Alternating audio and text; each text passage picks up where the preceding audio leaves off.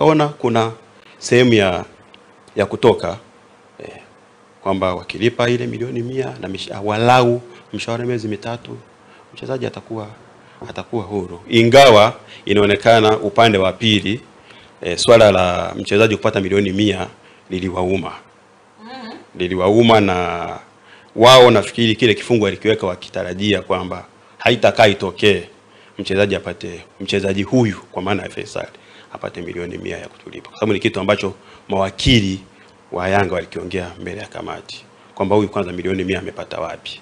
Mshahara wake milioni nne. Eh, ambayo sisi tuliona kama yale ni matusi. Eh, kama nyewe mnamsema ni mchezaji wenu mnamthamini na nini. Eh, yeye mwenyewe saini fee yake ni milioni mia. Unakujaje ku question kwamba milioni mia amepata wapi? Sisi of course tuliambia kamati haya haya ni matusi